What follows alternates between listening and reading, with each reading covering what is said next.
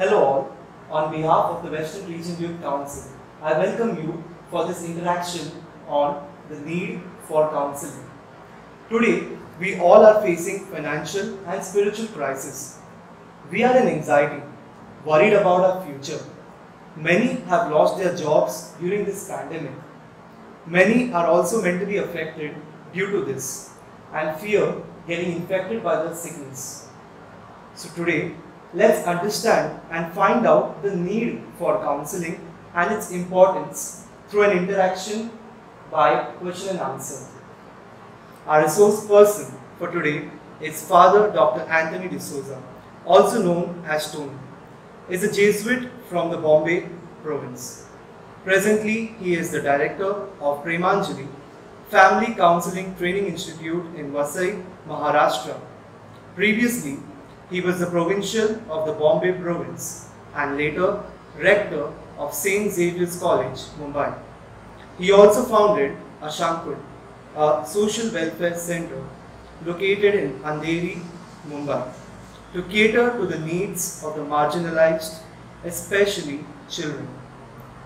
He did his master's in clinical psychology at the Bombay University. He did his doctorate and postdoctorate at Wright State University, USA. He was awarded doctorate class prize for excellence in the practice of clinical psychology and was named Alumnus of the Year in 2006. For the last 25 years, he has been conducting seminars and retreats which are an integration of psychology and spirituality from an Eastern perspective. He has been conducting these in India and abroad.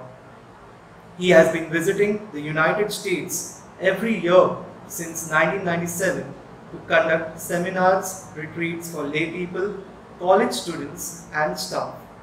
He is the author of the book Discovering Awareness.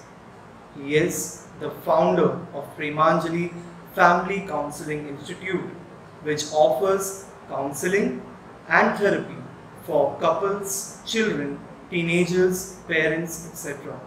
He is involved in counseling and therapy at this institute, along with conducting seminars, workshops for youth as well as parents, teachers, and couples. He has been trained in various psychotherapeutic techniques in the States. So we thank you, Father, for joining us today. Let me begin by asking what is counseling and how can it help us solve our problems? Okay. This is a common question many people ask. And uh, because many of the youngsters, counseling is a mystery, and therefore it's good that you ask this, this question. Counseling is an interaction between two or more people. One is a professional counselor who is trained to help another. Counseling is essentially from a psychologist or counselor's perspective is a framework within which the counselor creates an atmosphere where the counselee feels comfortable, secure, and, and therefore open to share whatever is disturbing him or her, the problems, the challenges, or areas of concern the counseling has. People come for counseling for various reasons.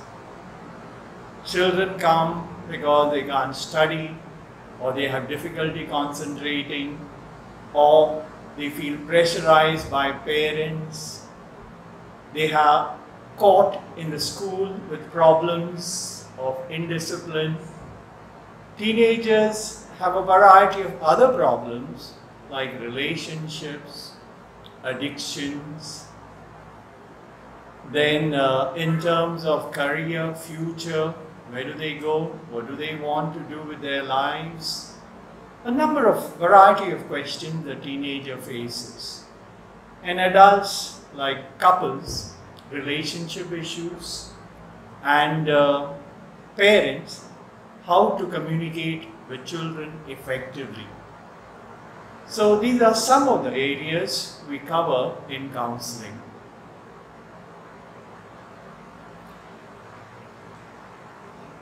As youth of today, we always question and are curious about several things. Nothing is done without a cause. So, how can counseling help us grow? If you look at yourself as a youth, what we call teenager or adolescent, is a particular phase in the development of a person. And uh, an adolescent goes through a number of challenges because adol- adolescent is one who has left the shore of the childhood but hasn't he reached the shore of adulthood. He is in between. Sometimes he feels being a child like or acting like a child is more comfortable. At the same time, he is urged from within to go beyond and to become an adult. A Lot of changes that take place in an adolescent. For example, intellectual cha- challenges, changes, starts questioning things, spiritually looking for meaning in one's life, meaning of spiritual practices, then intel- uh, socially. As a child, he was very much with parents and siblings and other relatives. Now he wants to explore himself and wants to be outside with his peer group. He wants to be accepted by them, and sometimes, for the sake of acceptance, they, he will do anything. That's the sad part of it. So, it has a number of challenges, but these challenges can be converted into opportunities. But the changes, what we call transition from childhood to adulthood, is a challenging phase. And they seek help because they don't know, because it's a new experience for them. Parents don't know sometimes how to guide their children. And the solution which parents have may not be the answer they are looking for because environmentally the situation has changed radically socially, economically, culturally. So the parents don't know quite often how to help the kid. And secondly, even if they know, the children don't want their advice. Their advice because they say, you are, you belong to an old age. You know, my old man, they will say, for a pop. We have a lot of personal problems that are unresolved and often held to oneself. Is counseling necessary to resolve personal conflicts and issues? Yes and no.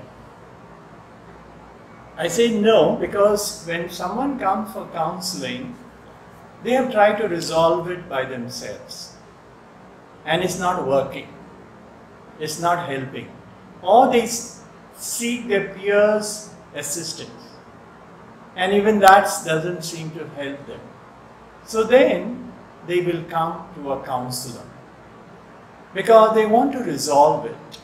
When there are conflicts, when there are tensions, when there are when there is anxiety, anger, all these issues that are surfacing within, they bring about a lot of what we call unease and which can lead to disease, dis-ease and health problems. And therefore, seeking help, clarifying the issues, resolving the issues is important. And the counselor facilitates this resol- uh, resolution, this healing process. Father, as you are a professional counseling psychologist, what is the difference between a psychiatrist and a counselor in terms of paying a visit to the one who is concerned? This is a very good question because many, even adults, mix up between a psychiatrist and a psychologist. Psychologists, they study human behavior. They study the mind. How the, does the mind operate? The feelings. In simple terms, there are three areas a psychologist essentially deals with thoughts, feelings, behaviors. So, they are all related. But how they are related and the impact these relationships have on an individual, positive or negative, is something a psychologist studies. So basically, a psychologist is the study of the mind, not neurology alone. They do study neurology, but how does the mind operate in these three areas? Whereas a psychiatrist has no knowledge of psychology. Psychiatrist is basically a medical doctor. And after they get their degree, MBBS, they go for post graduation and they specialize in one field or the other. So, a psychiatrist has specialized in medication to psychological illnesses like depression, schizophrenia, uh, manic, de- uh, manic depressive, okay, or bipolar disorders. So, these are the differences. Now, a few psychologists, a few psychiatrists rather, have got a training. In the sense, they have gone for a course or two in psychology. So they try to counsel. But you see, there's a problem. You can't just take a short course and try to help someone. You need in depth study of human mind, human behavior. So, when does one go for to a psychiatrist? When one does go for to a psychologist. Now, the kind of counseling, what we call therapy, is a talk therapy a psychologist does. He talks. The, uh, the counselor talks. So there's a dialogue, interaction between the two. Whereas psychiatrist will give you medication. Now, when would I refer someone to a psychiatrist? Suppose someone is very depressed and is not able to share about himself. He is all the time, I don't know, you know. So, to elevate his mood, I send him to a psychiatrist to give him some medication so he begins to feel good and then he can talk about his problem. Same thing, someone is manic depressive and to handle that, some tablets are given so he is able to come to a normal functioning or someone who is schizophrenic. Now, once they are able to talk in a proper way, what we call normally, then counseling is important. You also need to understand the dynamics how a problem arises. The issues may be psychological, leading to uh, what you call it changes in the physiology. For example, in the production of neurotransmitters, changes in the mood because these neurotransmitters are related with mood, dopamine, serotonin, and all that. So they go down because when you are depressed, dopamine goes down. So they give you medication to raise the production of dopamine. So as a result, the person feels good, feels good. So that's basically the difference between a psychiatrist and psychologist. So I will refer, but they have to, even if they go to a psychiatrist, they have to resolve the psychological problem, the root cause that led to certain changes like depression, schizophrenia, bipolar disorder, and other disorders. We youth meet a lot during our youth group meetings, programs, and activities. How to know when one needs counseling or psychiatric help? Okay, now let's. Uh, most most of the time, you don't require psychiatric help at all, unless there is a serious problem. Okay, my suggestion to most youth is you go to a counselor and he will let him decide whether you need psychiatric help or not. Having said that, there are lots of challenges that a youth experiences. Lots of challenges which I mentioned earlier. Okay? And the youth does not know why I'm feeling this way. So, because there are emotional changes, hormonal changes, okay, physiological changes when in the through the adolescent transitional phase. So, in terms of this, seeking someone guidance it doesn't mean you have to be along with that person.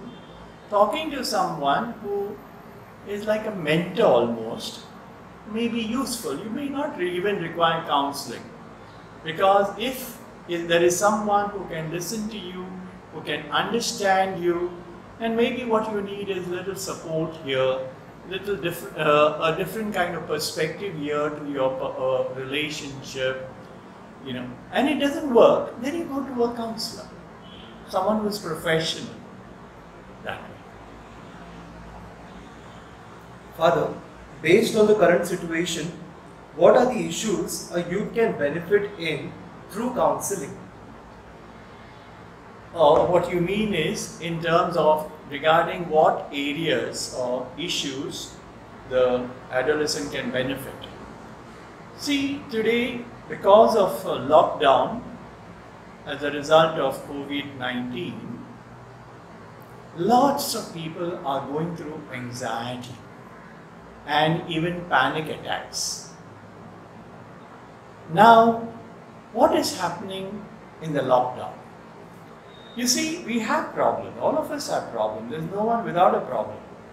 But what happened right from childhood, we learn how to cope with these problems. Okay? Suppose I'm feeling lonely. That's a problem. But what, what do I do? I distract myself. I put on the TV, I take my mobile, chat with a friend, go out, have a drink at a bar or whatever it is. I do a number of things to distract myself. Now, what has happened? This lockdown has blocked all kind of outgoing activities, cinema, all that, shopping malls, everything is locked down. So you're forced to be with yourself. And therefore, these issues are coming up, surfacing, and you, have, you cannot run away from them. There's nothing to run away to. So they are causing a lot of problems. So I'm getting a lot of cases with anxiety attacks, panic attacks, anxiety problems. But actually, these problems are, did not originate now. They're coming up now. They were there from right from childhood. Father, a personal question to you. What made you become a counselor? What kind of training did you go through to be a counselor? Okay. Uh, to be on, and honest with you, you see, I had problems. I had problems which I was not aware of at all. And uh, I thought I was doing very well. I had everything in control of myself. And then I joined the Jesuits. When I joined the Jesuits, we had to take a spiritual guide.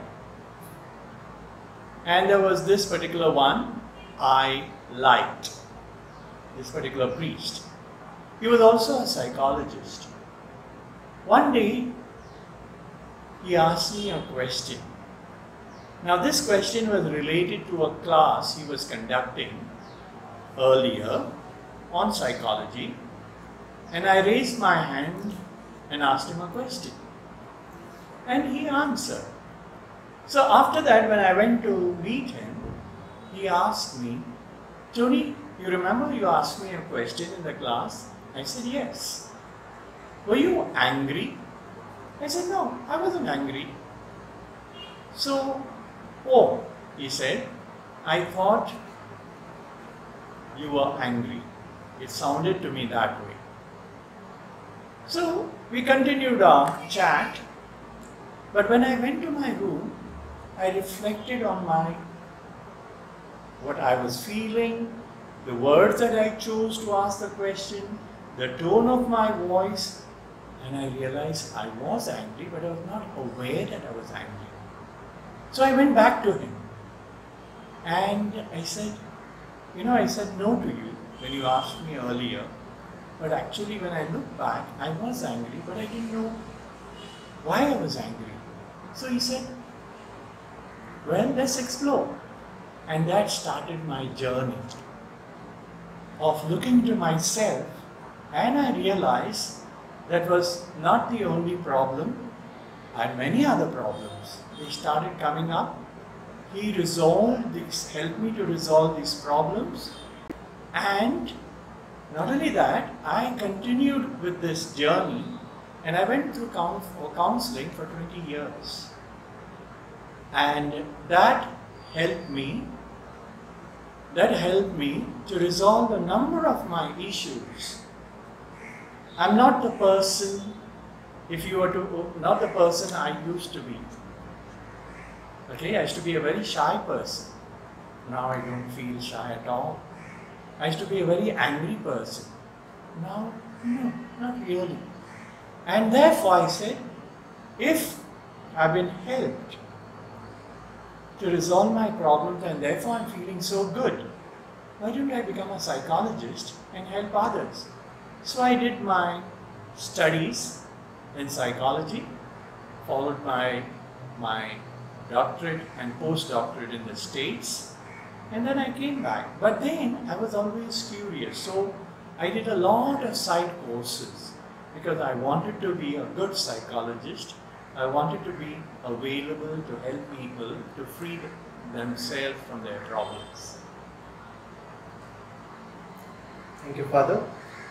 Are there any cases or situations which you came across related to depressed, mentally and spiritually affected youth? If you can share with us, how is the person guided? Good.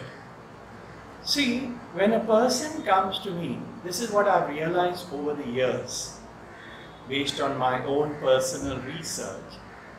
When a youngster, particularly, comes to me for counseling he will share the problem he or she has.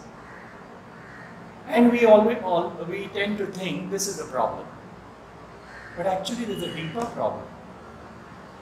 All of us deep down are looking for meaning of our lives.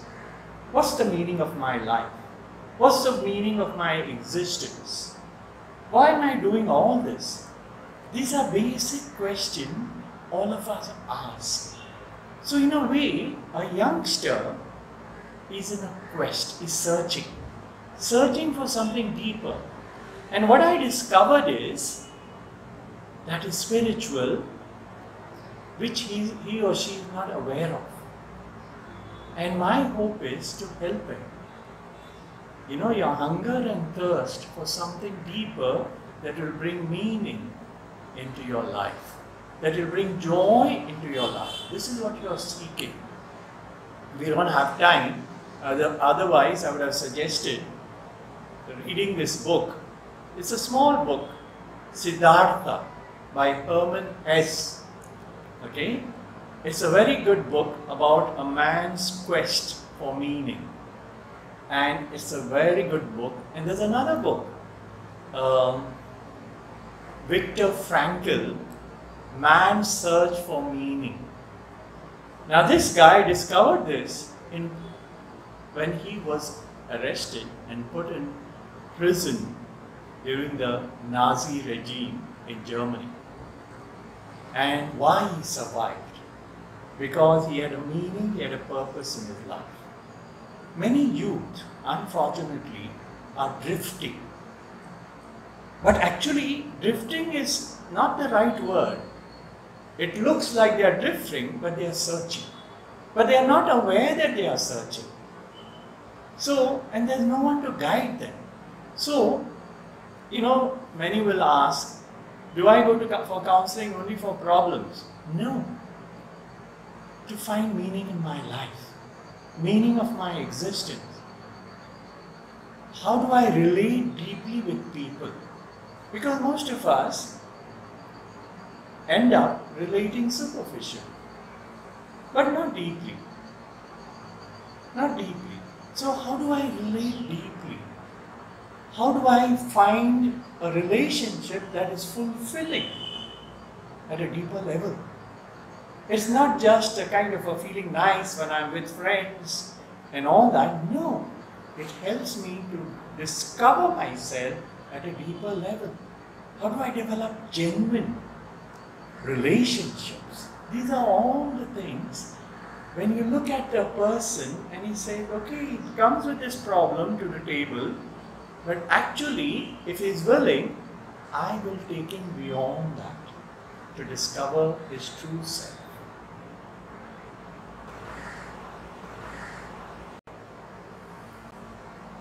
Father, can you share an example on it? Okay.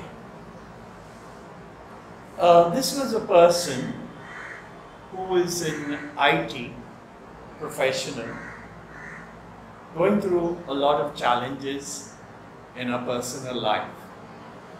So someone suggested her my name, she came, and she became aware that her current problems were linked with her childhood problems. Childhood problems. So then I started working on her childhood problems. And when I started working on her childhood problems and they were free, she was free from them, then I discovered she's looking for something more than just solution to the problem. She's asking some basic question, what's the meaning of my life? My parents are pressurizing me to get married. But I have been avoiding because I didn't want to get married after seeing the state of the relationship between my father and my mother. But now that you have resolved these issues of mine related to my childhood, the question eh, for me is what do I want to do with my life?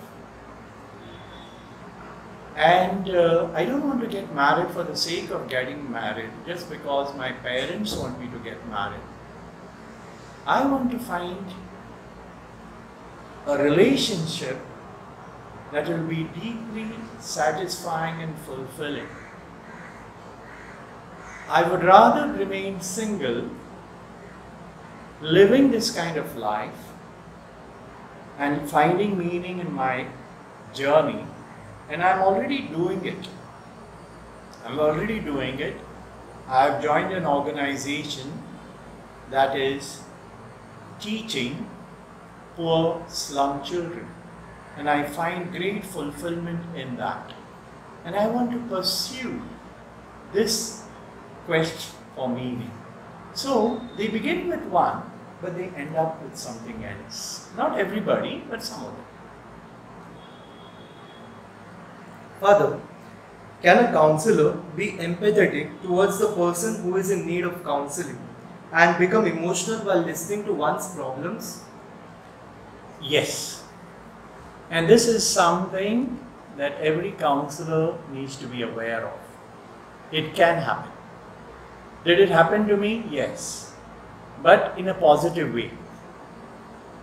The more I resolve my own personal problems, it becomes easier for me to be empathetic towards the other and understand the problem that my counselee is bringing without the problem trigger, triggering off my own personal problem.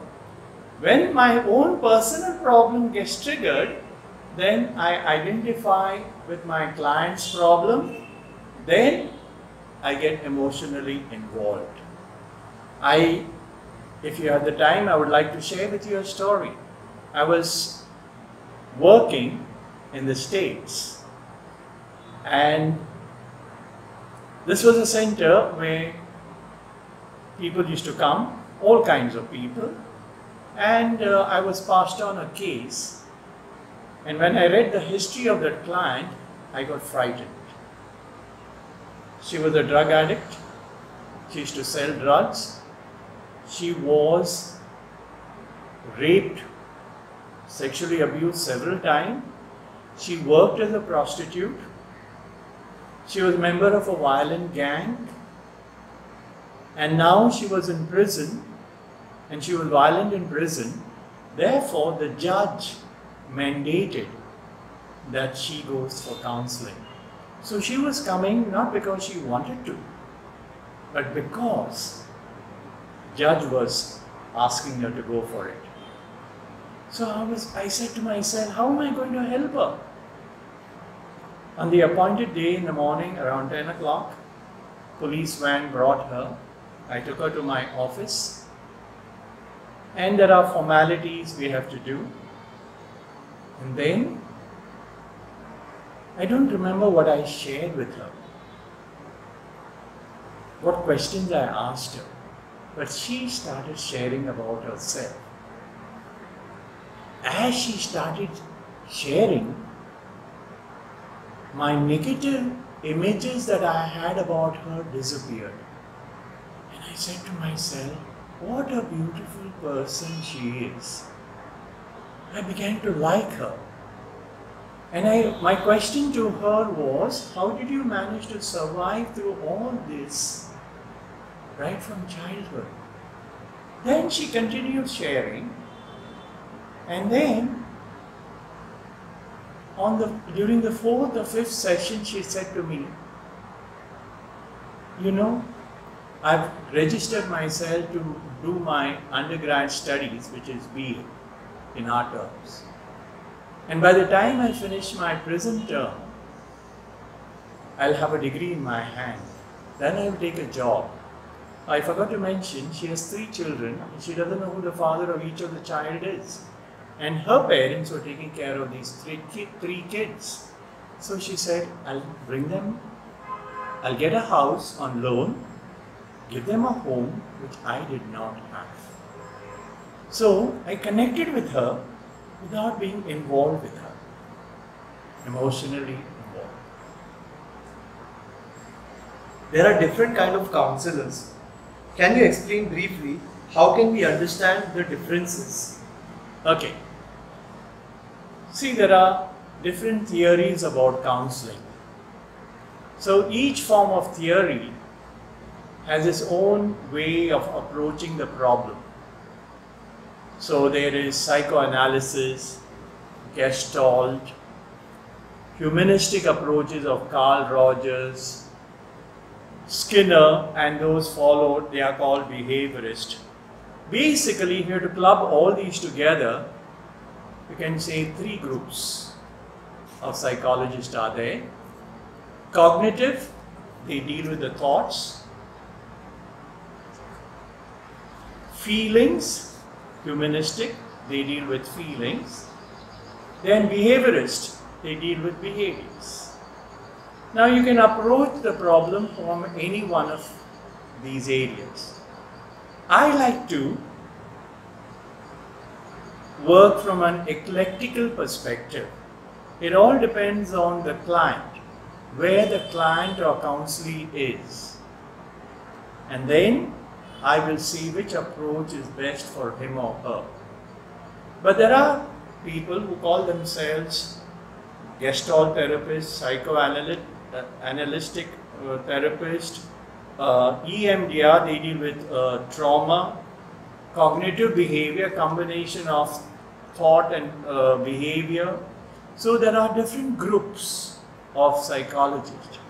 The best one would be to find an eclectic therapist who has pulled all these together in, and synthesized them.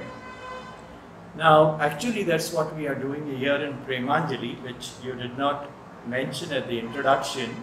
We are training professional counselors so that the kind of training I received in US, I can pass it on to others. So we have professional counselors. Father, do I need to have problems to go for counseling? Good. As I said to you earlier, generally people go for counseling when they have problems. But actually, it's always good to go have someone who can go, you can go to, someone to go to, because you can, you know, it's always good to share what you're doing, what is happening to you, that what you're doing, all the dynamics, because that leads to catharsis. What is catharsis? Expression of my emotion, release of my emotions or feeling. Now, what does that do? That helps me to look at my problem in a more objective way. So, sometimes the counselor just does listening and the counselee finds solution to his or her own problems. Now, there is one thing we have, you and I have been programmed right from childhood. And one of the ways we have been programmed is through fear. So there is a lot of fear in each one of us. And we are not aware of it because we have found, found ways to cope with fear. But this fear blocks our growth, our development. Just think of something you have never done before, and someone tells you to do it. And your natural tendency would be, no, no, no, I can't do it. I've never done it. What prevents you from trying? Fear. So fear governs a lot of us. So how to release myself from this fear so I can be a free person, open person, creative person and explore different avenues that are open to me in this growing, challenging world. Father, now from a counseling point of view, during a counseling, one may be reluctant and nervous to share his or her personal problems or secrets. Am I forced to share everything in counseling? Can you give us some information about the confidentiality of a person while he's sharing his or her problems? Good. Uh, let me let me begin by the last point you raised: confidentiality. Confidentiality is very very important in counseling where I will tell the client everything that you say remains here between you and me. Now, generally, in India, counseling is not, in a way, uh, what shall I say, registered, controlled by the an organization. You could be a counselor without even having any training.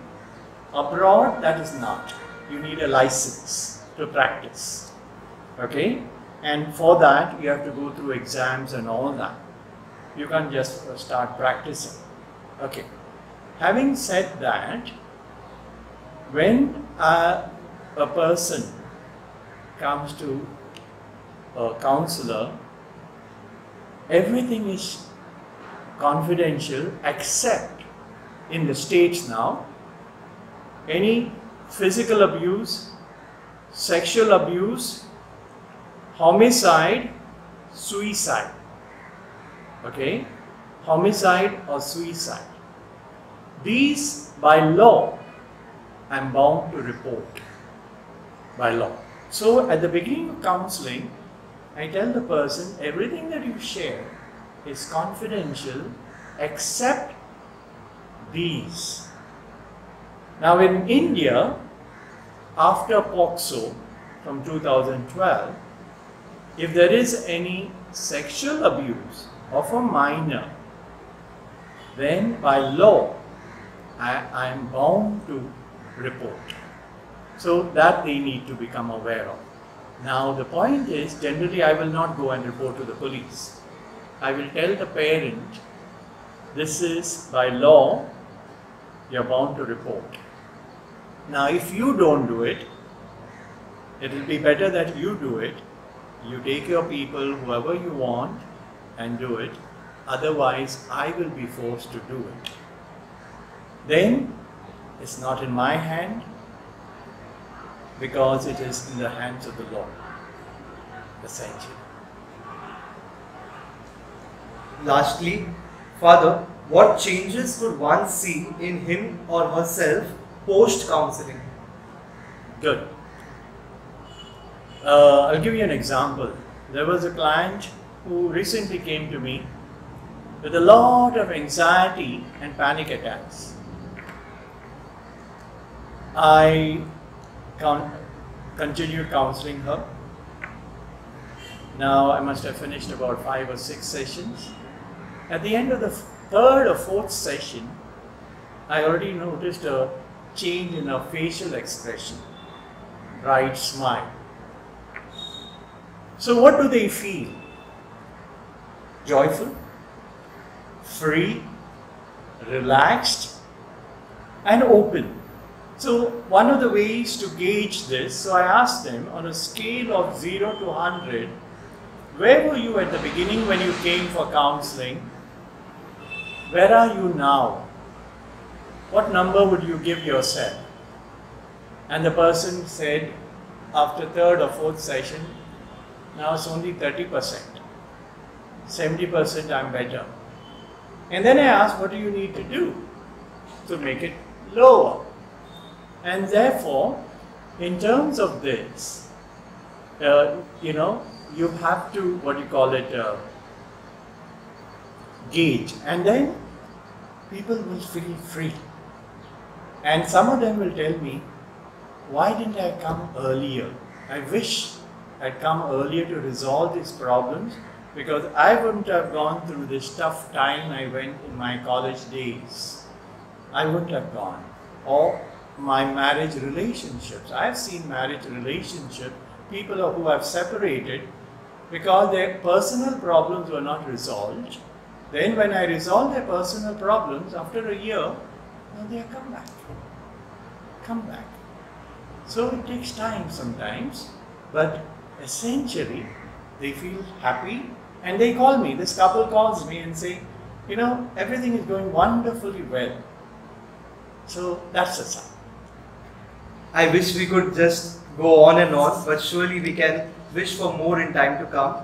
After processing so much information, we surely may have got our doubts clear, but few more raised. And I wish we could meet you once again to find out more about counseling and its aspects.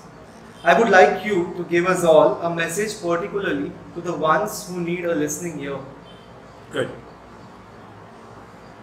I guess you're referring to the youth.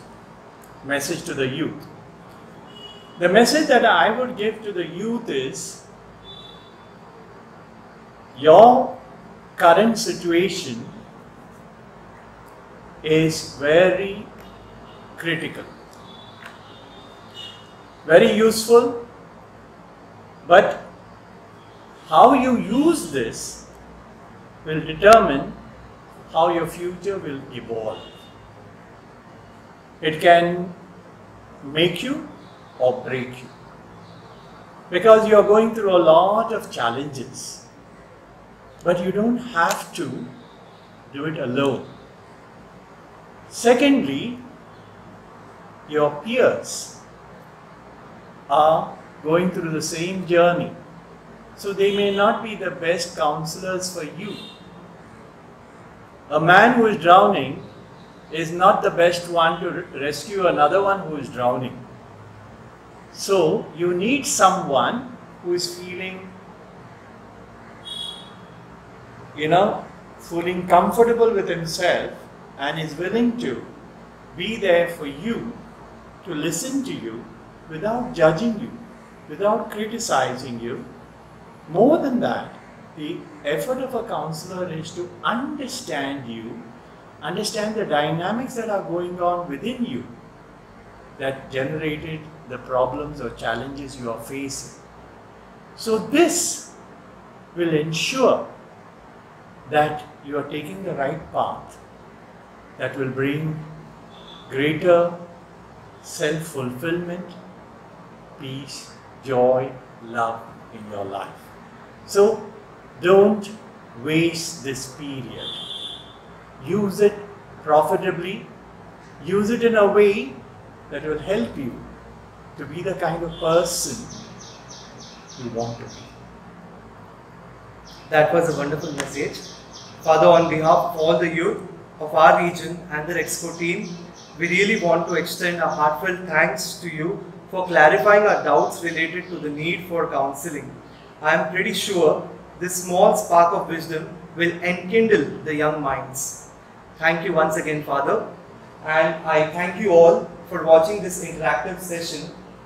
We'll meet soon for our next program. Until then, stay safe and stay tuned.